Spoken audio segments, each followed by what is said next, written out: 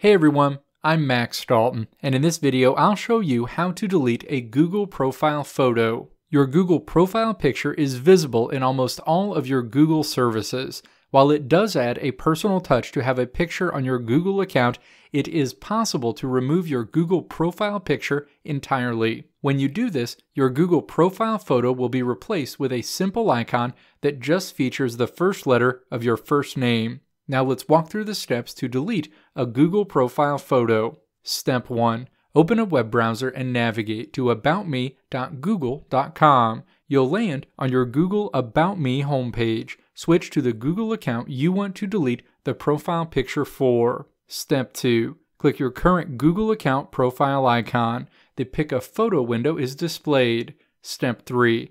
Click No Photo. Your current Google account photo will be removed and replaced with a simple icon that is just the first letter of your first name. Additionally, a message will be displayed on your screen informing you that it will take some time for your changes to be displayed across your entire Google account. Click Got It to close that message. Let me know what your favorite Google services are in the comments below. If you like what you saw here, click the video links on the right side of the screen to check out another video. Or click the logo on the left side of the screen to check out my website to see more great tutorials like this one.